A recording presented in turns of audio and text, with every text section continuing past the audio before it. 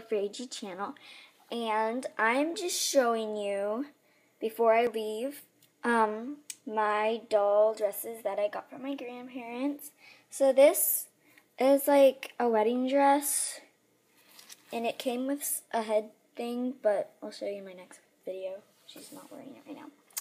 And then I have Alea's dress. My mom said she looks so like Alea, like it brings out her personality.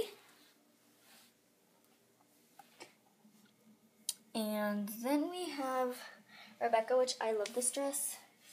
Um, has like a little crown and it's Belle's dress. These go down and then there are like little straps.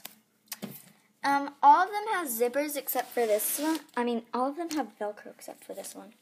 This one has a zipper. It's really a pain to do. I just wanted to show you guys. So, yeah. Thanks for watching. Please like, subscribe, and comment. Oh, and by the way, thank you for 23 subs. I will be doing a giveaway when I hit 25. So, hit that button. Thanks.